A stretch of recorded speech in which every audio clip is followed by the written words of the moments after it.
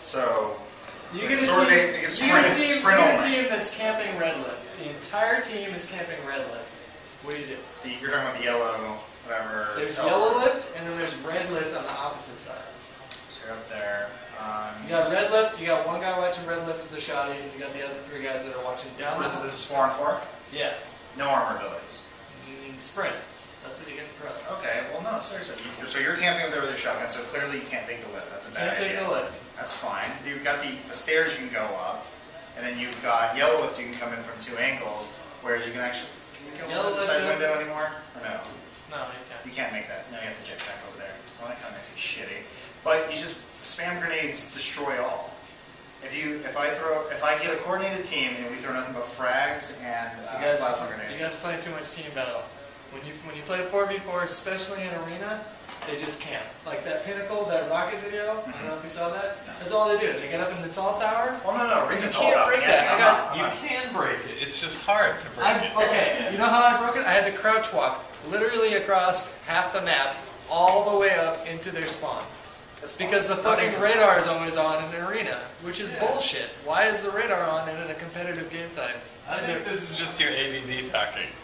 What's my ADD? You want to kick the door in and storm the lesbian stronghold, but sometimes it takes a little takes a little work. No, I'm totally all about a coordinated push to break an opposing team setup, and I understand that Halo is about patience and playing it a lot slower than COD, and I like that about the game, but they made it just so difficult to break setups. Okay, now, if you include where, are you- armor where are you camping? Where are you camping with the shotgun on the lift? Where are you? There's the room just where you near the order. lift. Just So there's that window the at lift. opening. You got enough guys who are skilled enough at lobbing grenades in that room, where can you go besides sprint out, where you could have some dudes waiting for you by the lift, and you're talking DMRs, right?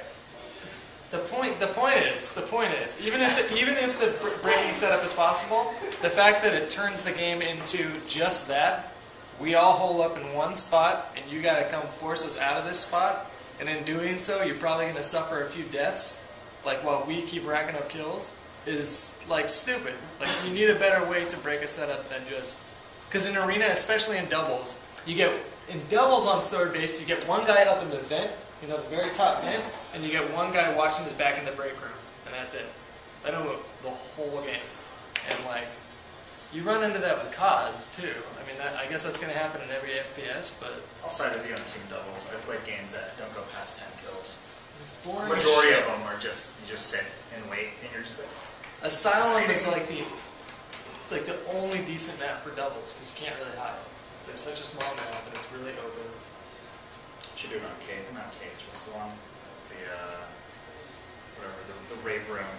The cage is also fucking fucked because if you get armor abilities, you get jetpack, you jetpack all the way to the top, and you can just dominate from up there. And the only way to dislodge that dude is if you have a jetpack. But if you try and jetpack up there, he's gonna fuck you up because you're such an easy target. If you're not at the very top, you're at the tower on the cage. And if you get four dudes posted up on that tower, sure you can throw grenades and like do some damage, but it's so hard to dislodge them from that. They grab a snipe, they run back to the tower, and they got three guys backing them up. There's rockets on Cage, right?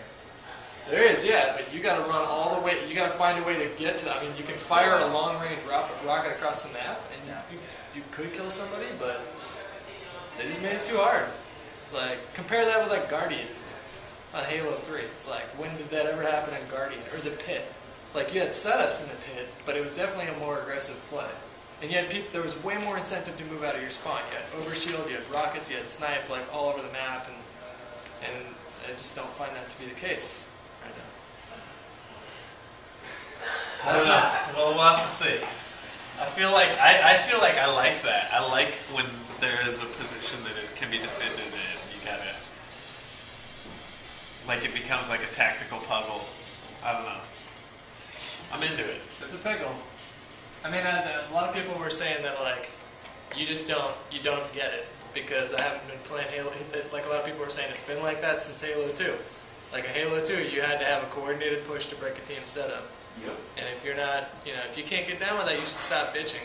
Which I can understand that point of view. I get that, but my I guess my perspective is a little different. It's like I'm just jumping into the series, and like that's what I'm greeted with. I still love it. It's a great game.